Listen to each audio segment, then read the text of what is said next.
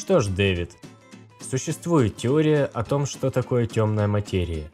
Ты упомянул иные вселенные, и давай представим, что наша вселенная – бумажный лист. Всю нашу жизнь мы проводим на этом бумажном листе, но прямо над нами может быть параллельная вселенная. Парящая чуть выше, в дюймах, сантиметрах возможно. И любой объект в этой вселенной будет для нас невидим.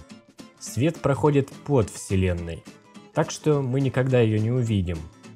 Но гравитация Гравитация существует между любыми галактиками, и так как она не что иное, как изгиб пространства, если слегка согнуть пространство между нашими листами, гравитация усилится.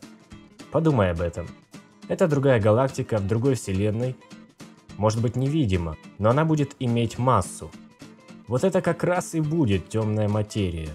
Темная материя плотна, она имеет гравитацию, но невидима. Она не взаимодействует со светом или электромагнитной силой, так что есть теория, утверждающая, что темная материя просто обычная материя в другом измерении, парящем прямо над нами. Также стоит отметить, что есть и другие теории. Темная материя находится на острие науки. Некоторые люди считают ее вибрациями более высокой струны. Все атомы нашего тела представляют вибрирующую струну нижней октавы. Но ведь струны могут быть тоньше и выше – Следующей октавой может быть темная материя. Это еще одно популярное толкование ее загадочной природы.